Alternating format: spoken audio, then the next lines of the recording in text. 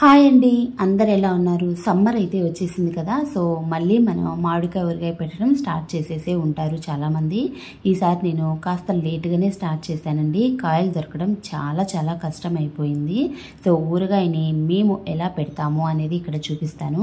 ఒక్కొక్క ఏరియాలో ఒక్కొక్క రకంగా అయితే పెడతారు. కొందరు మొక్కల్ని ఎండబెట్టి పెడతారు కొందరు పచ్చివి వేస్తారు కొందరు వేయించేస్తారు. సో ఇలా ఒక్కొక్కరు ఒక్కొక్క రకంగా అయితే ఊరగాయ పెట్టుకుంటూ ఉంటారు కదా.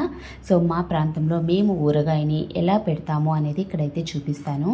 ముందైతే వీటికి కావలసిన పదార్థాలు ఏవేవి అని అంటే మెంతులు ఆవాలు కారము సాల్టు. అలాగే ఇక్కడ నేను నువ్వుల నూనెనైతే యూస్ చేస్తానండి. ప్రతి సంవత్సరం కూడా ఎప్పుడు ఊరగాయలు పెట్టినా సరే నేను నువ్వుల నూనెనే వాడుతూ ఉంటాను. నువ్వుల నూనెతో చాలా చాలా బాగుంటుంది. ఇంకా హెల్త్కి కూడా చాలా మంచిది కనుక. ఇక్కడ ఆయిల్ని అయితే నేను వేసేసుకుని స్టవ్ పైన కొన్ని ఆవాల్ని అలాగే తెల్లగడ్డల్ని కూడా తీసుకున్నాను. తెల్లగడ్డల్ని నేను కొంచెం ఎక్కువగానే తీసుకున్నానండి. ఇవి ఊరగాయలు మనకు ఊరిన తర్వాత చాలా చాలా టేస్టీగా ఉంటాయి. ఇంకా హెల్త్కి కూడా చాలా మంచిది. చాలా బాగుంటుంది కనుక నేను కొంచెం తెల్లగడ్డల్ని ఎక్కువగానే తీసుకున్నాను. ఈ నువ్వుల నూనెలో కొంచెం ఆవాల్ని తెల్లగడ్డల్ని వేసిన తర్వాత మనం పక్కకు వెళ్ళిపోతే అవి పొంగిపోతాయి కనుక దగ్గరే ఉండేసి ఇలా కలుపుకుంటూ వాటిని వేపుకోవాలి. తెల్లగడ్డలు మనకు పూర్తిగా వేగాల్సిన అవసరం లేదండి. అలాగే పచ్చివాసన కూడా ఉండకూడదు. మనకు ఇవి వేగుతూ ఉన్నప్పుడు ఒక మంచి ఫ్లేవర్ అయితే వస్తుంది. చాలా చాలా బాగుంటుందండి ఆ ఫ్లేవర్. తెల్లగడ్డ అనేది నువ్వుల నూనెలు వేగుతున్నప్పుడు వచ్చే ఫ్లేవర్ చాలా బాగుంటుంది. ఆ వాసన అనేది మనకు వచ్చినప్పుడు వెంటనే స్టవ్ ఆఫ్ చేసేసుకొని మనం దీన్నైతే పక్కకు పెట్టేసుకోవాలి. ఎప్పుడు కూడా వేడిగా ఉన్న ఆయిల్ని మనం ఇలా ఊరగాయల్లో వేయటం వల్ల ముక్క అయితే చాలా తొందరగా మెత్తబడిపోయి మగ్గిపోతుందండి. మనకు టేస్ట్ కూడా బాగుండదు ఎక్కువ రోజులు కూడా నిల్వ ఉండదు. కాబట్టి ఇలా మనం వేడి చేసేసుకున్న ఆయిల్ కంప్లీట్గా చల్లారి పెట్టేసుకోవాలి. నేను ఇక్కడైతే ఫ్యాన్ కింద పెట్టేసి కంప్లీట్గా చల్లారి పెట్టేశాను. ఇంకా ఈ మెంతి ఆవాల పిండి కారము ఉప్పు వీటినన్నిటిని కూడా రెడీ చేసుకున్నాను. ఇప్పుడు నేను మీకు ఒక కేజీ మామిడికాయలకి ఎంత మెజర్మెంట్ అనేది నేను చెప్తాను. చెప్తానండి ఈ మెజర్మెంట్ కరెక్ట్గా సరిపోతుంది. కొంతమంది ఎక్కువ తక్కువ పెట్టుకుంటూ ఉంటారు కనుక నేను ఒక కేజీకి మెజర్మెంట్ చెప్తాను. మీరు ఎన్ని కాయలు పెట్టుకుంటే దానికి క్యాలిక్యులేట్ చేసుకొని వేసేసుకోండి. ఒక కేజీ మామిడికాయలకి ఒక టేబుల్ స్పూన్ మెంతులు. మెంతుల్ని కాస్త పాన్ ఫ్రై చేసేసుకొని మనం తీసేసుకోవాలండి. లేదంటే ఎక్కువ చేదు ఉంటుంది కనుక లైట్గా దోరగా వేయించేసుకోవాలి. నల్లగా అసలు చేసుకోకూడదు. చేదు ఎక్కువైపోతుంది. ఒక టేబుల్ స్పూన్ మెంతులు. వంద గ్రాముల ఆవాలు. ఆవాలు వేపవలసిన అవసరం లేదండి. మనం ఎండలో పెట్టేసుకొని వాటిని బాగా అంటే ఎండలో పెట్టేసుకోవటం వల్ల మనకు బాగా మెత్తటి పొడి అయితే పడుతుంది కనుక ఒక వంద గ్రాముల ఆవాలు వన్ ఫిఫ్టీ ఎంఎల్ వరకు మీరు ఏ ఆయిల్ని అయితే యూజ్ చేస్తారో ఆ ఆయిల్ని తీసేసుకోండి.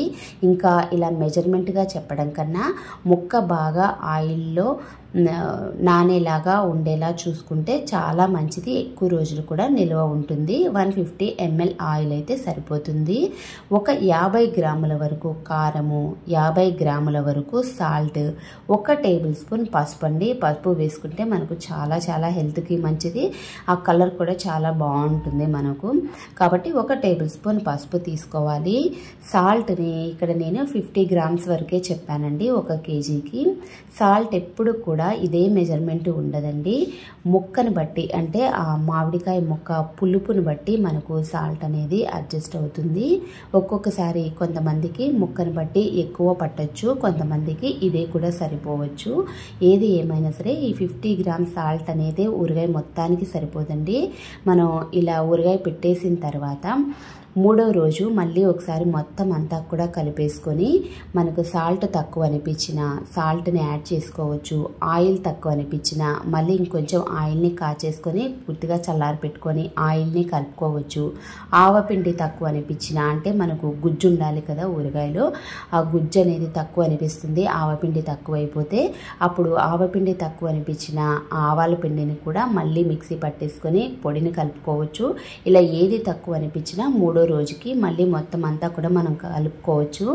కాయ పులుపుని బట్టి మనకు ఇవన్నీ కూడా ఎక్కువ తక్కువ అయితే ఉంటాయండి. నేను చెప్పిన మెజర్మెంట్ మ్యాక్సిమం సరిపోతుంది. సాల్ట్ అయితే ఎక్కువ తక్కువ అవ్వచ్చు. మీ మామిడికాయల పైన డిపెండ్ అయ్యి. సో దాన్ని అయితే కొంచెం చెక్ చేసుకోండి.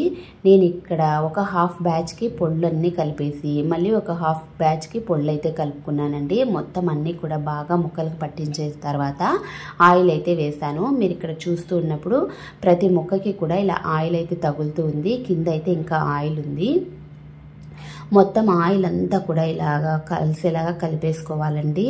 నేను ఇక్కడ స్టీల్ గిన్నెలో అయితే చూపిస్తున్నాను. మామూలుగా జాడీలో కానీ లేదు అంటే గ్లాస్ బాటిల్స్లో కానీ స్టోర్ చేసుకుంటే మనం బయట పెట్టుకున్నా కూడా సంవత్సరం అంతా కూడా కలర్ చేంజ్ అవ్వకుండా అలానే ఉంటుంది. దీన్ని నెక్స్ట్ డే మీకు నేను చూపిస్తాను. పైన అయితే చాలా ఆయిల్ అయితే తేలుకుంటుందండి. నేను ప్రజెంట్ ఒక ప్లాస్టిక్ కంటైనర్లోకి మార్చుకున్నాను. కలుపుకోవడానికి ఈజీగా ఉంటుంది.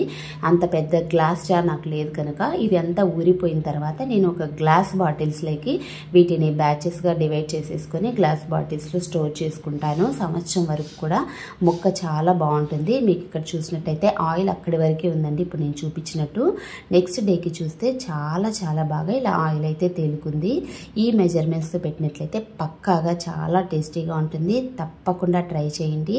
వీడియో నచ్చినట్లయితే తప్పకుండా లైక్ షేర్ సబ్స్క్రైబ్ చేయడం అస్సలు మర్చిపోవద్దు. మరొక వీడియోతో మళ్ళీ కలుద్దాం.